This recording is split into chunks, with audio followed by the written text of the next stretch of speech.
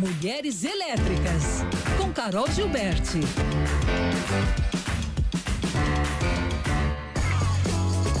Carol que já está aqui nas nossas telas. Carol, desculpa pelo adiantado da hora, como se diz, mas hoje foi, foi corrido. Sem problemas, a gente entende, ainda mais com essas últimas notícias. Nossa. Que coisa, igual você falou, o esporte realmente está sofrendo hoje. Ciclo da vida, né, gente? Bom dia, primeiramente, a todos aí, Murilo, Lu, Bom dia. Lucas, aos ouvintes. Ciclo da vida, né, gente? A gente.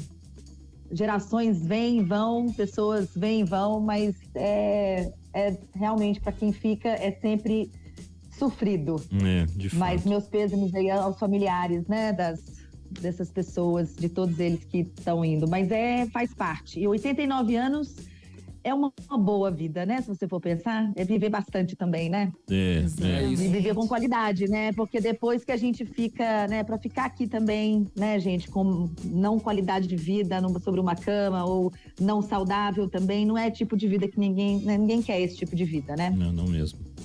E hoje a gente continua com a nossa convidada, né? De terça. Sim, inclusive sobre nova, a nova geração que a gente está falando aí, né, gente? Esses desafios que o mundo moderno está vivendo. Eu acho que vocês devem estar acompanhando aí várias matérias, né? Várias pesquisas sobre a nova geração, a geração Z, inclusive que vem causando aí no mercado de trabalho. E a nossa convidada da semana, que é a Daniele Paulino, traz para a gente bastante informação e relatos da experiência dela como uma líder diante desses desafios.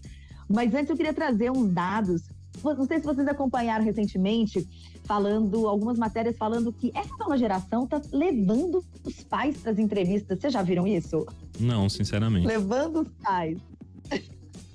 para tipo, ou estarem presentes com eles, né, que são candidatos ali para aquela vaga, ou até mesmo ligar para contestar sobre a processo seletivo, enfim, é, coisas que acontecem nessa nova geração que muitas vezes a nossa não entende, talvez por ter sido um pouco mais autônoma, né, um pouco mais é, segura desse trajeto da nossa é, profissão.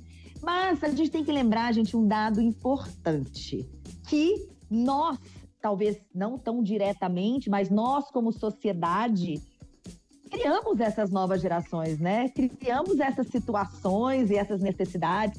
Essa questão também da tecnologia, por ser uma geração que está sempre muito conectada, sempre tudo muito rápido, tudo é selecionado com um toque de tela, talvez eles entendam que a vida também é assim, mas não.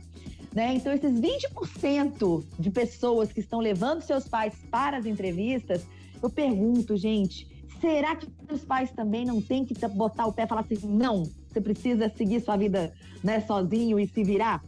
Bom, diante de todo esse cenário, que não é só brasileiro e também é global, está acontecendo também em países como Estados Unidos, inclusive essa pesquisa veio de lá, eu trouxe a Daniele para falar um pouquinho sobre os desafios dela, sendo uma gestora dentro da empresa e também mãe dessa geração, que vive essas, vamos dizer, esses desafios diários. E ela trouxe um relato bem, bem bacana. Vamos ouvir? Vamos. O Marcondes no chat falou, é a geração Enzo. Ai, meu Deus do céu. Vamos ouvir aqui. Que, que é isso? Ah, depois eu quero ver o que, que é isso. Tá. É, essa nova geração só não pode esquecer que para a gente ter qualidade de vida, o trabalho faz parte disso, né? Não tem como a gente ter qualidade de vida sem trabalhar, sem, sem gerar riqueza, sem gerar recurso. A gente precisa do recurso para ter qualidade de vida, exceto se você nasceu herdeiro já, né? Acho que o principal hoje é o respeito, né? É, e aí não vamos nem falar de gerações, vamos falar realmente de seres humanos. Os seres humanos são diferentes, cada um tem as suas aspirações, cada um tem as suas entregas, as pessoas são diferentes.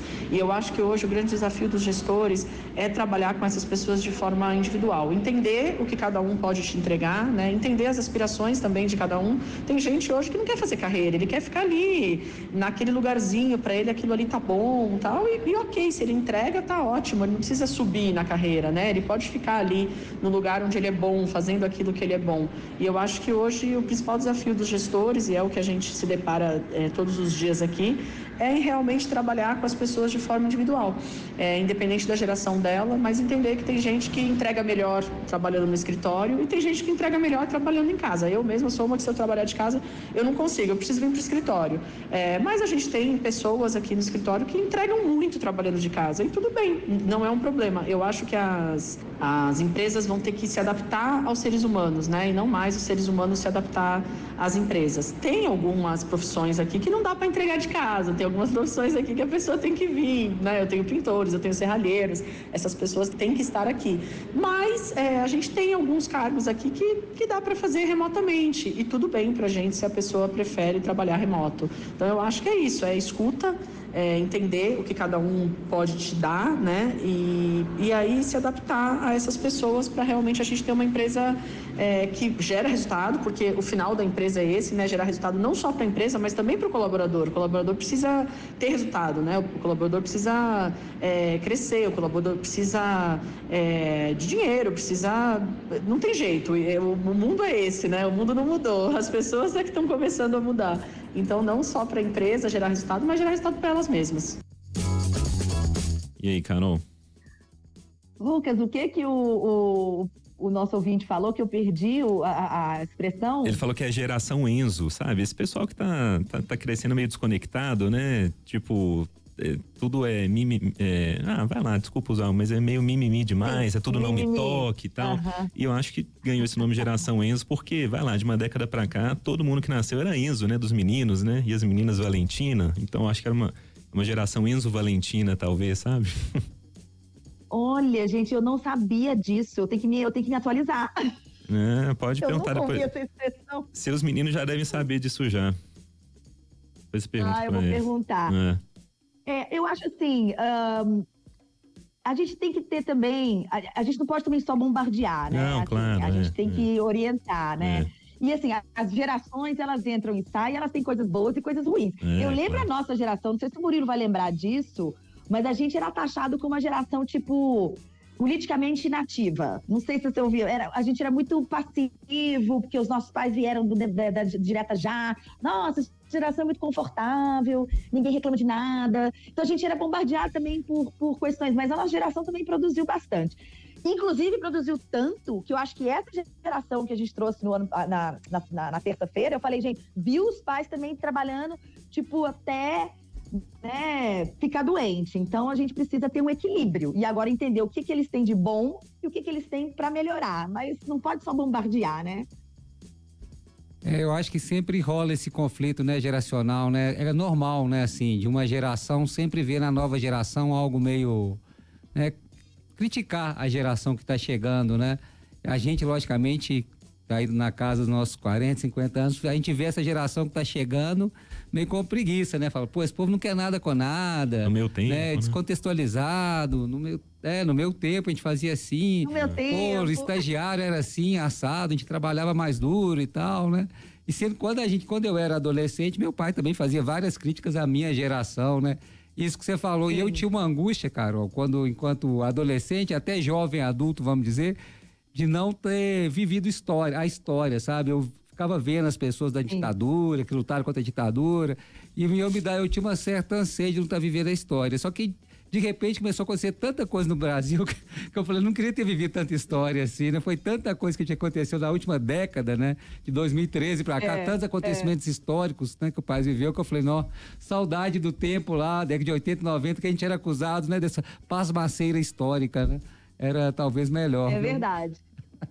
A minha percepção é a mesma. Mas eu acho que a gente não pode é, é, ficar preso a esse discurso. Na época a gente não falava assim, nossa, discurso de velho, né? Desculpa a palavra, a gente hoje em dia não pode falar mais isso. Mas na época, quando a gente tinha vinte e poucos anos, a gente falava, ah, gente, que isso, esses cinquentões, tudo falando mal da gente. E a gente está a mesma coisa. Então a gente tem que se policiar. para entender a nova geração, que elas ainda têm muito a entregar, né? A gente Com tem certeza. que entender as entregas. Mas olha, a entrevista está bastante rica. É uma realidade, sim, desse desafio. Acho que estão todos passando por isso. Estão também dentro de casa. São, como eu trouxe aqui na terça, são várias gerações, quatro, trabalhando no mesmo ambiente.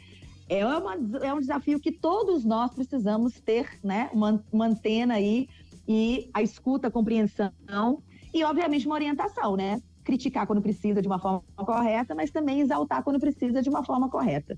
E é isso. Então fica o convite para gente, para vocês ouvirem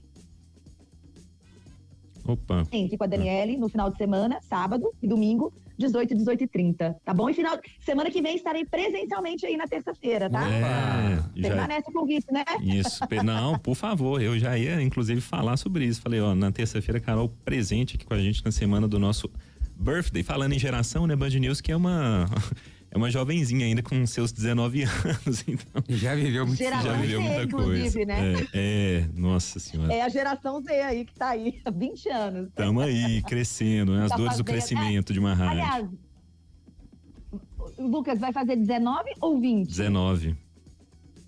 Ah, vai fazer 19. Vai. Uau, é 20. verdade. A É. gente fez 18, ma maioridade ano passado, é, né? é. Eu que fiz 20 agora, entendeu? Na, na minha cabeça. Ah, sim. Ó, eu então, permaneci também, mas é, eu permaneci nos 23. ah, Tá ótimo. É sobre, é, a idade é que a gente quer. Ó, então beijo até terça aqui ao vivo. Um beijo. Até terça, gente. Excelente final de semana para vocês.